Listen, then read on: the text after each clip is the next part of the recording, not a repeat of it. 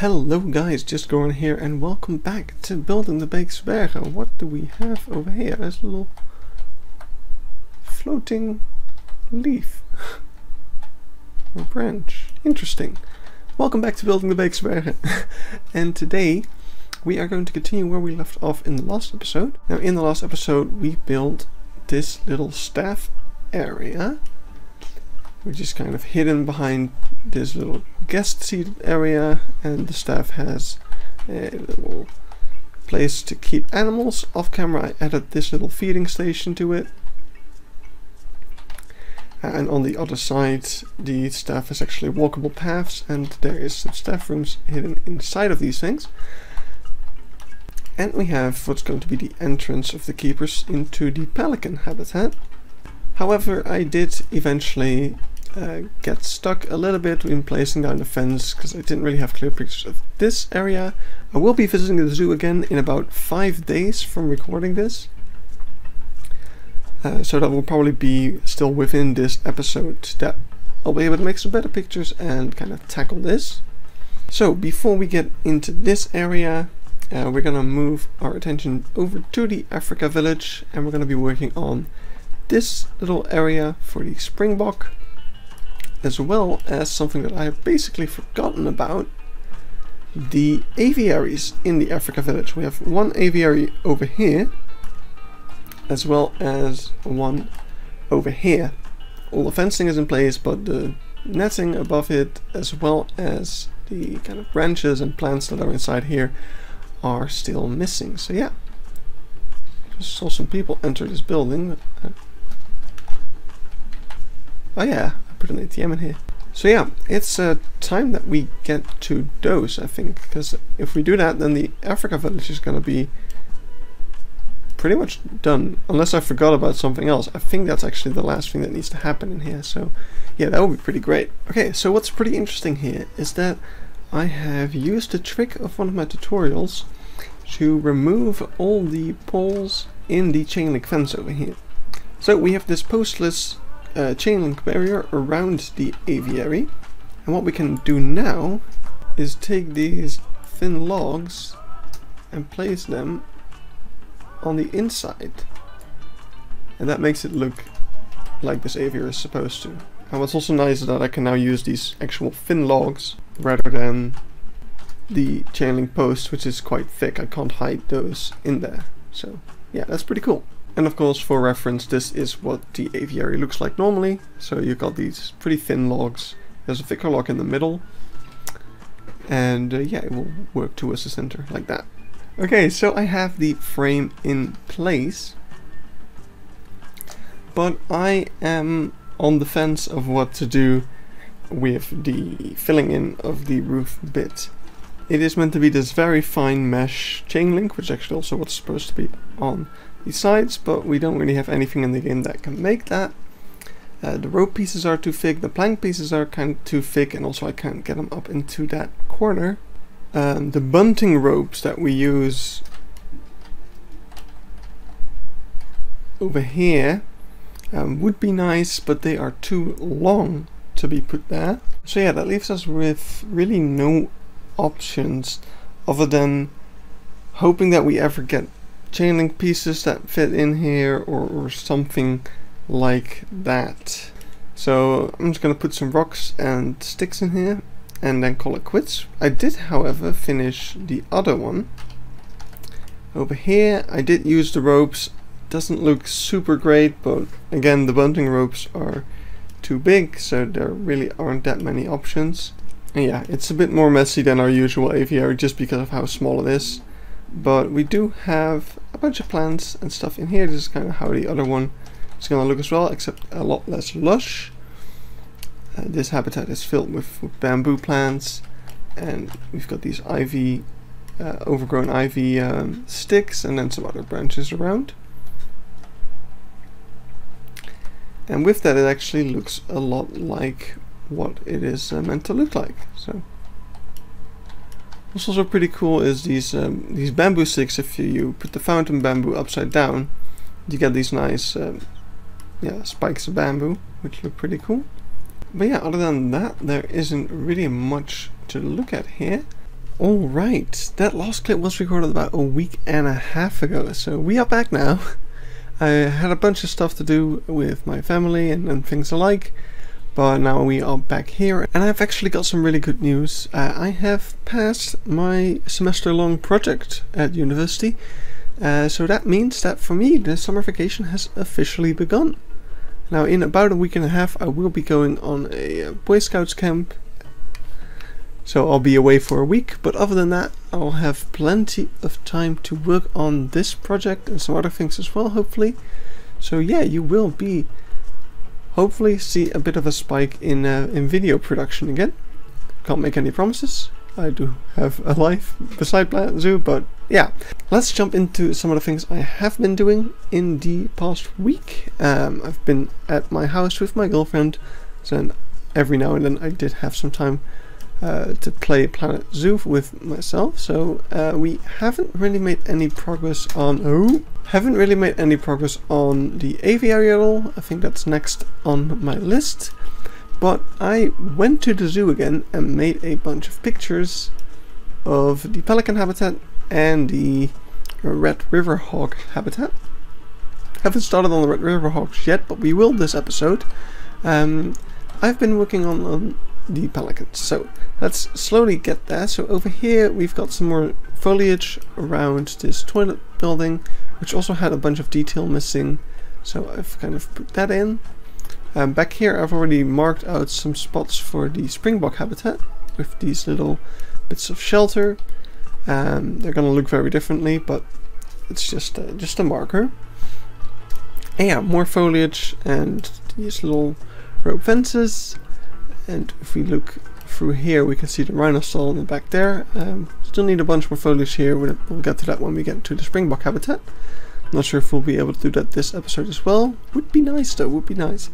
Anyway let's come over here and we've got our first view into the pelican habitat. And what we can see from over here is kind of the uh, open view of the backside of the habitat. There's a bunch of trees all around uh, but mainly just a lot of grass. I'm gonna put a bit more detail here in regards to like little plants and bushes, but most of it is actually uh, ready. But the coolest thing about this habitat is down here.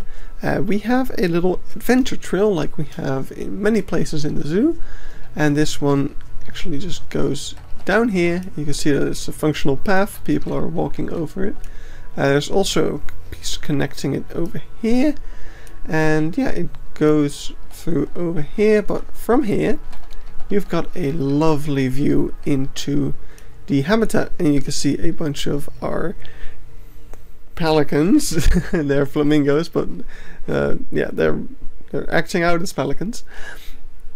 And uh, yeah they're having a nice swim. Now I do want to put a bunch more in here because we've got about eight and there definitely should be a lot more uh, of them but yeah, this is a really, really cool path. And it is uh, built up out of two meter paths. I actually got a bunch of questions from people like, oh, did you just put down people and remove the path to make the screenshot or something? But no, no, it's a functional path. Um, this will show you that. So it's it's a two meter path uh, by kind of using the queue and then putting down these little sections over here to prevent the little logs from showing. Oh, someone's been boxed up. But yeah, we I've used these little kind of sections over here to get rid of those uh, little pillars uh, on the curb of the natural path and I've kind of hidden them away in this rock work that kind of looks like dirt. And yeah, we've got people looking into the uh, pelican habitat from over here, which is really, really cool.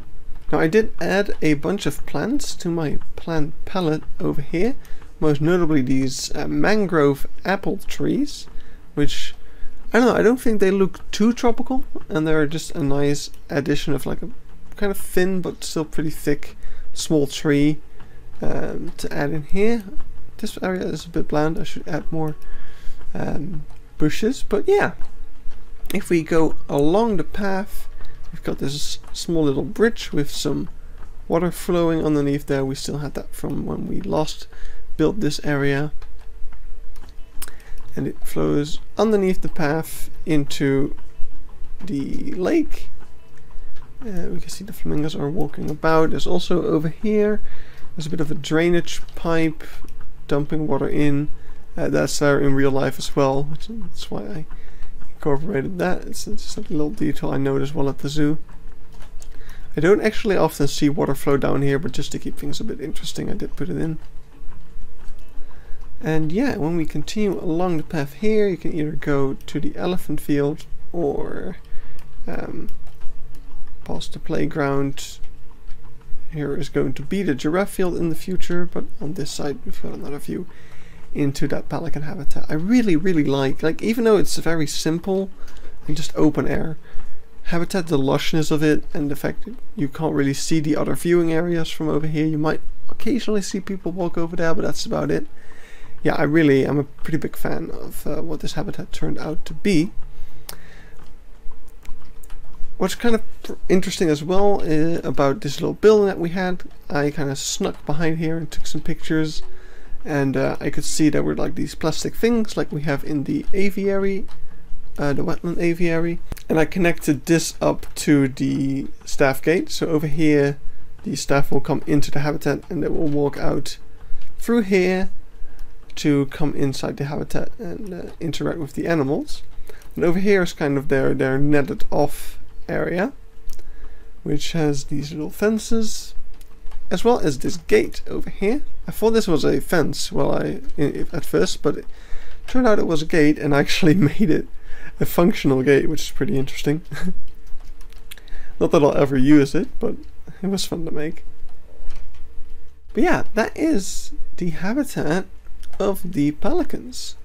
Just needs a little bit more planting detail here and there, but the bulk of it is done.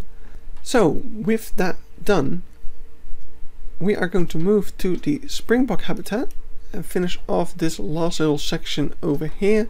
We've got some natural paths to kind of hide, and we've got this area to put down a fence put down these little shelters and put down some Scots pine trees that are all over the place here. Uh, oh yeah, and also this fence needs some uh, some work. So yeah, there's a lot to do, so let's get to it, so that maybe we can also get to the Red River Hog at the end of the episode. Okay then, here we are at the Springbok field, and let's take a bit of a look over here we've got a nice little viewing platform um, akin to the one at the elephant field. It's kind of similar except that this one has a ramp going up to it. And um, before we had this staircase over here as an actual path staircase but I decided against doing that because it was not functional anyway because guests can't walk on 2 meter staircases and yeah the real staircase looks a bit more like this so I thought I would just make it so that it looks a bit more accurate. From over here you've got a view into this area which has oh which has a bit more space for the springbok to go around in, a section off by these wooden poles. A little bit of shelter. I actually wonder, can they use that shelter? I haven't checked that yet. Why is it not showing me the traversable area? Oh, you're stuck. Poor little thing. Get away from there. That should do you better. Yes. Great. Okay, they can actually go in there. Is it also a shelter?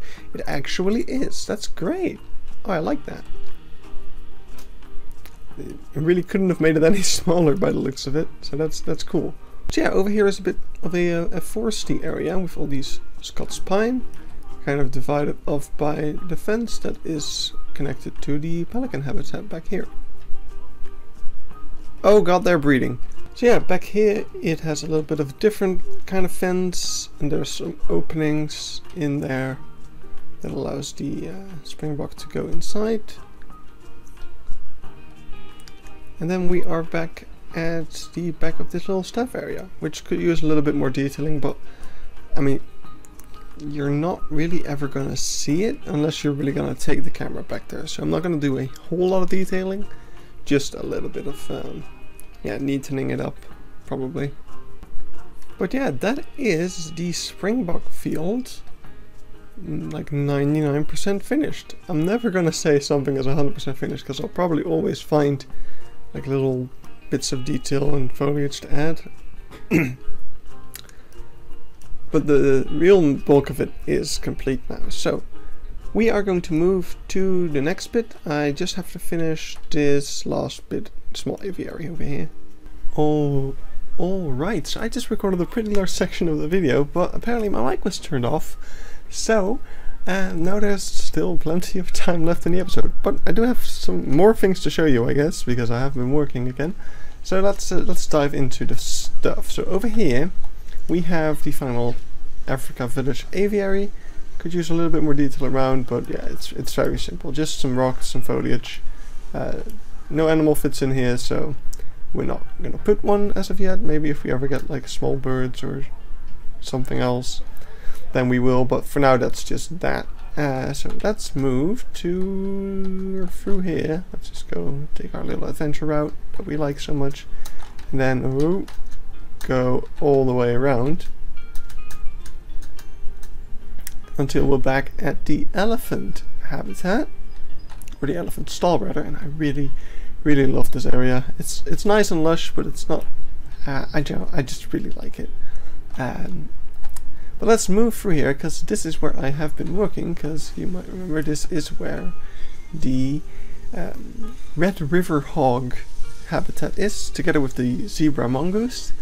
Um, now we're just gonna put some warthog in there. If we ever end up using mods, then I know there is a mod to replace Warthog with Red River Hog, so we might do that. But for now, let's just go over the changes. So over here, I've been adding a lot of foliage. This little section over here, also cleaning up some of the natural path. Uh, looks like I have to do a bit of a repaint here. But yeah, over here is the staff gate into this staff area that I've started to lay out a little bit and kind of mark out where buildings are going to be that I haven't marked out yet. But this area is uh, not really what we're going to be working on today, I don't think. It's kind of a backstage area anyway. I've instead been working just on this path, on the trees that you can see over here. A little bouncy trees. And where we are arriving now, the habitat has been kind of started to be laid out. Now these paths are a pain. I've had to redo a bunch of it to make it kind of fit. Uh, but we got some 2 and 3 meter paths around just so that we can work with these splits of the path. You'll see in the reference, uh, you'll see in the comparison pics at the end of the episode that yeah, the, the path splits over here. So yeah, it was a lot of fiddling around to make that happen. But I think I think I've got it at the good uh, at a good point now. And we've got these windows over here, and this little ridge, and yeah, that is kind of the habitat. Then in the back here is the entrance to the habitat, uh, which is a little shelter. And now it is up to us to kind of finish off the last bit of foliage here and then do the habitat. So it's really not that much anymore. Um, so I'm just gonna jump in and do that. Alright, here we are and some progress has been made and we are looking at them getting some food from the keeper who is completely ignoring the enrichment item I put in the ground so they probably can't reach it. There is no habitat to it. Uh, it's probably because it's like below the ground. Yeah, now it's working. Okay, I wonder if they're gonna be able to reach that, because that would be cool, because then you'll see them, like, move around into the ground. But, you can already tell that a lot has changed here. Um, not only do we have the animals in, but we've also got all the foliage pretty much finished off, except for the backside. So let's go through it from over here. So we have that pathway behind the elephant stall building and yeah there's just all tons of foliage it's it was a real pain to do it's so small out here like um, yeah real tiny amount of space between the fence and this path, I've kind of ignored this path to be honest. It's, uh, yeah. it's, it's gonna be impossible otherwise really. Because I, I didn't want any plants clipping through the fence. So that's why, um, I mean, I failed, but yeah. Uh, that's why I kind of ignored this path. Which is a bit of a shame, but I don't know, I don't think there's much to do about it. So yeah, we've got that split in the path with some um, spruce trees. Bouncy boys. I mean, they're bouncy because they're like this freaking tall. But we just used the tip so that it looks like a tiny tree, which works really well. But then you got that split in the path so people can actually stand over here to look into the habitat as well. Then over here the path splits again and you've got this little viewing area without the glass. And then there's this little area. Oh looks like this didn't go very well. Might have to retry this path. But um, yeah the pathing all is functional and works really well. So now it's time to just do the backside do the habitat and then we'll be done. So I just got a freaking heart attack when I placed this plank. The freaking warthog just teleported on top of the thing. That scared the crap out of me. Alright then, let's finish up the episode here. We have completed the habitat of the uh, red river hog, or warthog that we used for them. And it ended up looking pretty freaking cool uh, the use of rocks and such uh, has been has been very nice. Uh, the only thing I haven't really been able to recreate, which you'll see come back in the reference photos in just a bit, is that there is actually kind of like holes underneath this little ridge here, uh, where the zebra mangousts uh, kind of dug a lot, and yeah, there's holes all over the place where they dig and, and make their um, yeah, their little holes, burrows. But this habitat is finished and you can also see that the trees here in the back have been put down. They are nice and sturdy.